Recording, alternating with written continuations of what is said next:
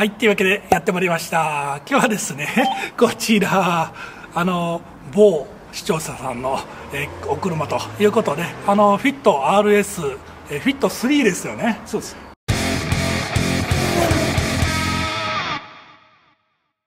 型の RS を今日は、えー試乗してみようと思いますでは早速外装の方を見てみましょう 3RS というわけでいやこのブルーかっこいいですな。あのこれね、え後期モデルということで、え本当のね、最終形の、えデザインになりますね。今日はね、え視聴者さんの、えお宅のこれガレージですね。あのなんとね車が3台入るということで広いお宅にお邪魔しております。このフィット3のね、最終形モデルはこのインライン型のねヘッドライトということですごいね結構クールな印象がありますよね。RS エンブレム。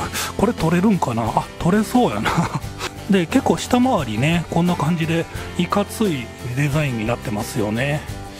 あのこのフロントバンパーだけね私のフィット変えたいなと思うんですけど結構ねこの意外とねこのライトの位置この辺のデザインが違うそうなのでこのままガバッと変えることはねできないらしいですね。えーちなみにタイヤは、えーダンロップを履いてますね。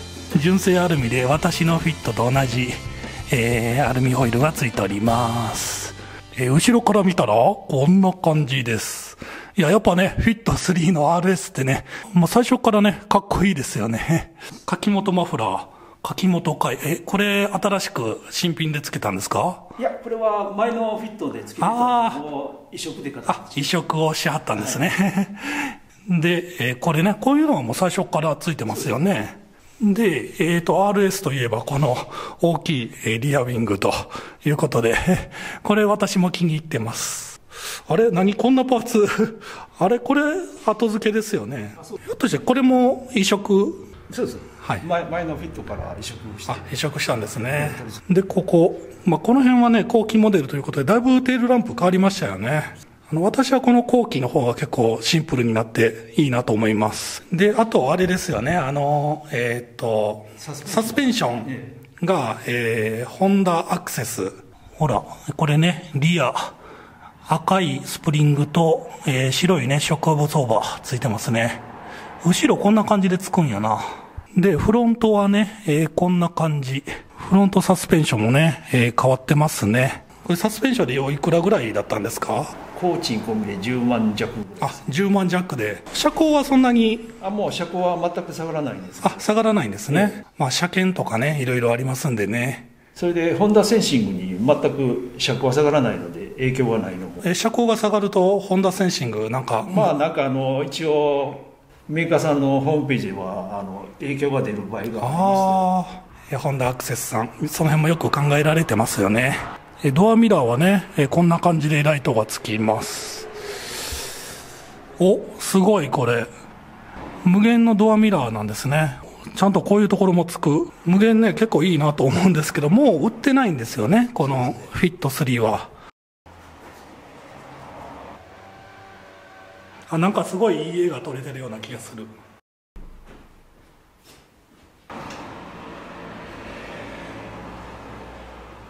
では内装の方を見てみましょう。はいではお邪魔しまーおなんかいろいろいろいろあすごい。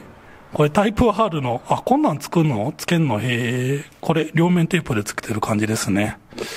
あすごい。なんかいろいろ変わってる。はいではお邪魔しますと。お内装の方はねこんな感じです。やっぱここの辺は純正なんですよね。そうですね。巨人軍のボールみたいな やつと。これはあの、ちょっと、後後から私がつけたものです。あこれは変えたんですね、へえ。でハンドルもこれここのステッチは純正でね。これはちょっと後付けなんですね。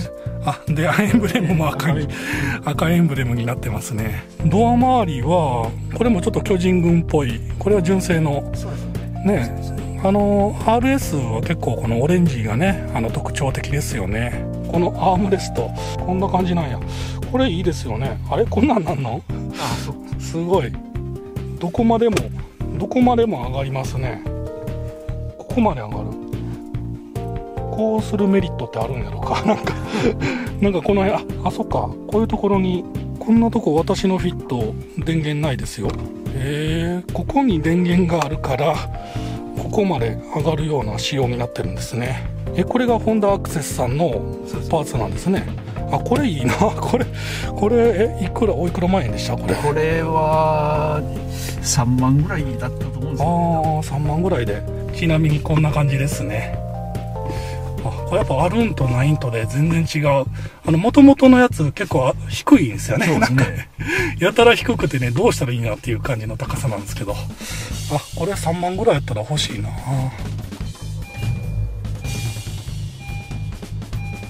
まだ3500キロ。しか走ってないですね。これ新古車でお買い上げとあそうですね。いうことであのホンダさんのあの試乗車だったみたいですねこう試乗車って結構いいナビつけてますよね。そうですね。その辺もすごいお買い得だなと思います。いやナビがね大きくなっただけですごいね先進的になったなと思いますね。あシートはこんな感じか。ちょっと後部座席もチェックさせてもらいますね。後部座席のシートはねこんな感じですね。もっとね派手なんかなと思ってたんですけど、まあ、意外と、まあ、地味なんですね。いやフィットはねあの十分後部座席もゆとりのある広さということでいいですよね。こうドアのねえーこのレバーとかも黒くてかっこいいな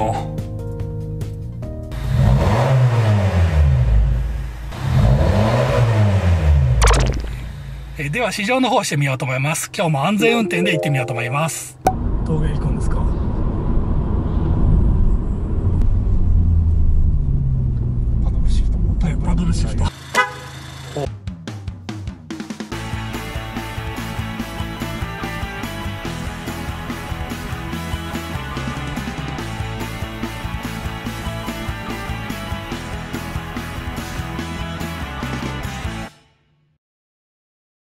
じゃあね。バイ。